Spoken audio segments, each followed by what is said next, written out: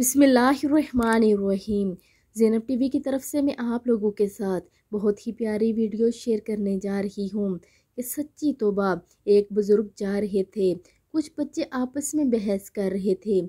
जब करीब से गुज़रे तो वो बच्चे कहने लगे, बाबा जी, हम आपस में कहीं मसले पर बहस कर रहे हैं। आप ज़रा फैसला करें। इसने कहा, बेटा, क्या मसला है? बच्चे ने कहा, हम आपस में बहस कर रहे हैं। कि एक आदमी बड़ा नेक हो, कभी गुनाह ना किया हो और इसके दिल पर अल्लाह की खास नज़र रहती है कि एक आदमी बड़ा ही गुनहगार हो और सच्ची तोबा कर ले, इसके दिल पर ख़ास नज़र रहती है।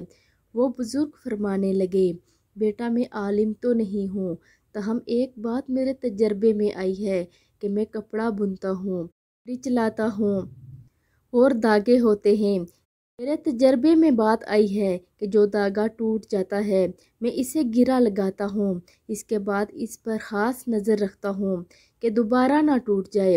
मुमकिन है जो बंदा शैतान के रास्ते को छोड़कर सच्ची तोबा कर ले। अल्लाह इस पर अपनी गांठ बाँध ले।